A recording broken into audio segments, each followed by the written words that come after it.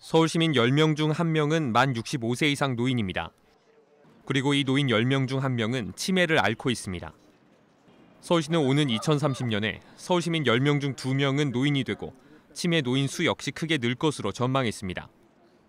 이에 일부 자치구는 구별로 설치된 치매 지원센터를 활용해 예방과 조기 발견, 치료에 박차를 가하겠다고 밝혔습니다.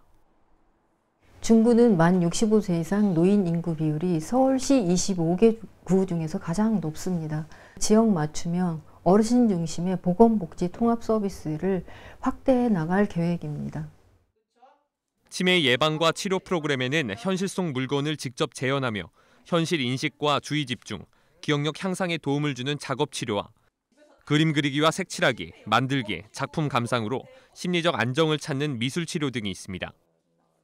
특히 체조와 요가 등 몸을 쓰는 운동 치료는 정신 건강뿐만 아니라 신체 건강도 함께 챙길 수 있어 일석이조입니다.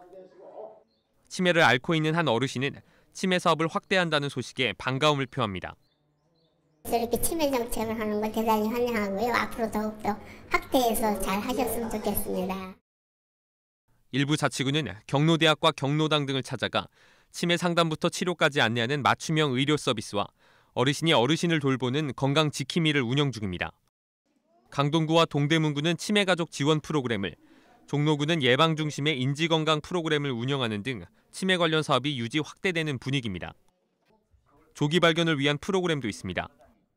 각 자치구 치매 지원 센터는 방문 간호사를 가정으로 파견해 독거 어르신 등 취약계층을 대상으로 치매 조기 검진을 진행합니다. 이 밖에도 중구 등 일부 자치구는 웨어러블 기기를 활용해 개인 맞춤형 건강 서비스를 제공하는 헬스케어 시스템을 도입할 계획입니다. TBS 정중입니다.